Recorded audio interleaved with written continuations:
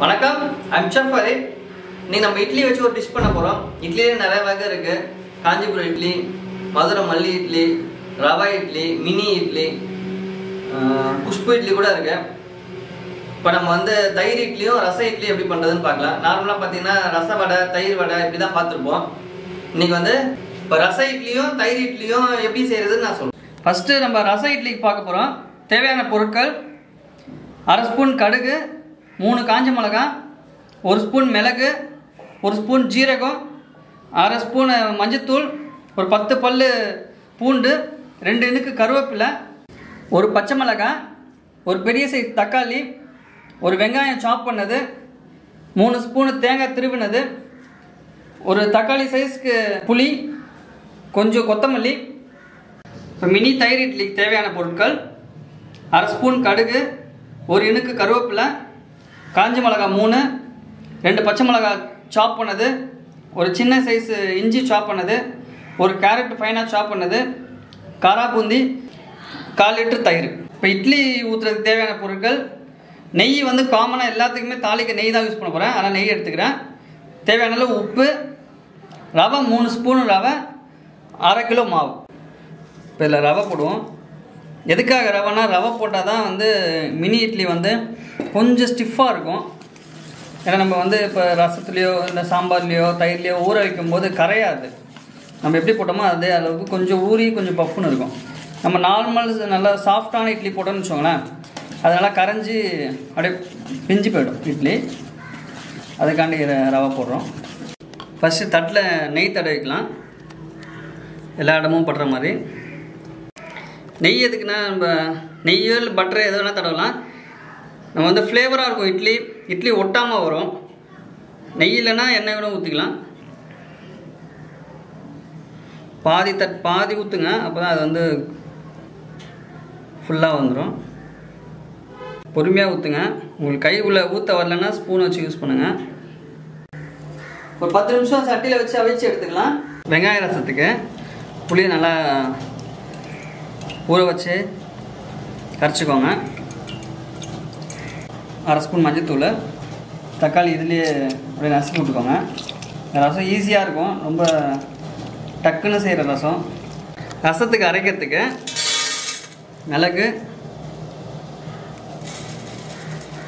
ஜீரகம் பூண்டு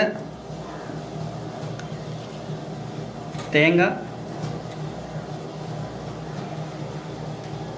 பச்சை மிளகாய் கொத்தமல்லி கருவேப்பிலை எல்லாமே சேர்த்து அரைச்சி எடுத்துக்கலாம். நம்ம அரைச்சி வச்சுருக்க அந்த ரசம் மசாலாவை போட்டுப்போம். தேவையான அளவு உப்பு. போட்டு நல்லா மிக்ஸ் பண்ணிக்கோங்க. ரசம் தாளிச்சிக்கலாம். ரெண்டு ஸ்பூன் நெய்.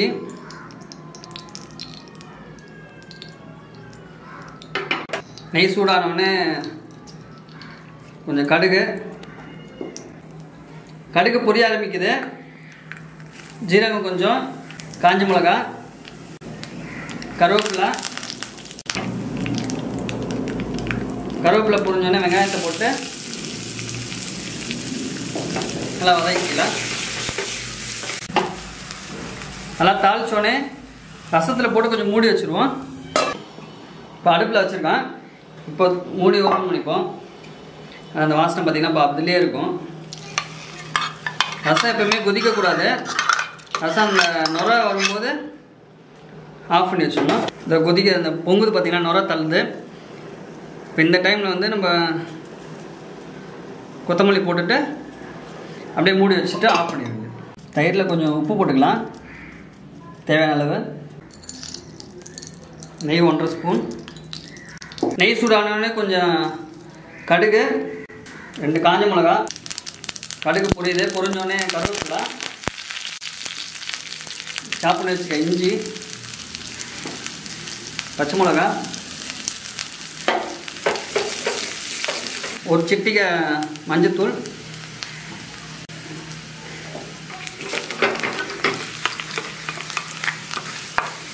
நம்ம மிக்ஸ் பண்ணி வச்சுக்க தயிரில் போட்டுடலாம். லைஸாக மிக்ஸ் பண்ணிக்கலாம். பார்த்தீங்களா கலரே சூப்பராக இருக்குது நல்லா ரசம் ரெடி ஆகிடுச்சு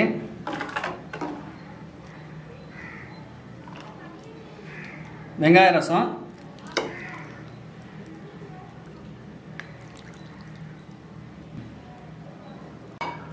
இந்த இட்லி ரெடி ஆகிடுச்சு இப்போ இட்லி ஊற்றிருக்கோம் அதை மிக்ஸ் பண்ணி வச்சுருக்க தயிர் ஊற்றலாம்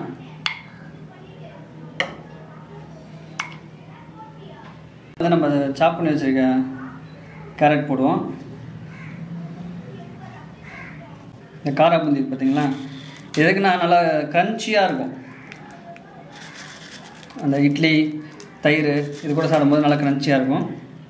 மினி தயிர் இட்லி ரெடி ஆகிடுச்சு